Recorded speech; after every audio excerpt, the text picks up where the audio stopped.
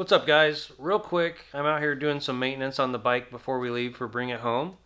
And last year it was a very slow parade and a lot of people don't know they have parade mode on their bike. It's actually called like engine idle temperature management system, um, or EITMS, I guess for short. Um, so just real quick, I'm going to enable mine and I'm going to show you how to do it. So if we find ourselves in a situation where we're going half a mile an hour for an hour, uh, we won't get engine damage. So I'll show you what I'll show you what to do. All right. So the first thing you want to do is turn your ignition on and have your run key in the run position. This only works if your bike has cruise control, by the way, I think. You might want to look it up.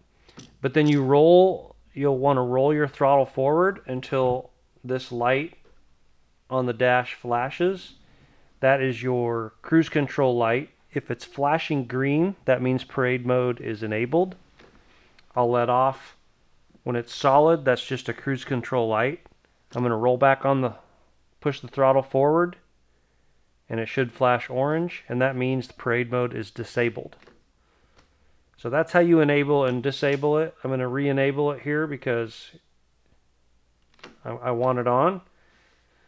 It doesn't affect the riding of the bike, and I don't know the exact parameters that you need that it the the computer needs to that'll actually kick that on but when the oil gets to a certain oil temperature and the speed is under a certain mile an hour it'll shut off the rear cylinder and that becomes kind of like an air pump and then you'll just be running off it'll it'll sound really weird because you're only running on one cylinder but then as soon as you roll on the throttle and hit a certain uh, throttle percentage and speed It'll kick that rear cylinder back in automatically and you're good to go.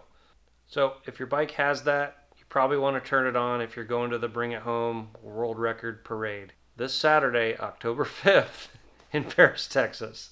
If you don't know about it already. All right, see you guys.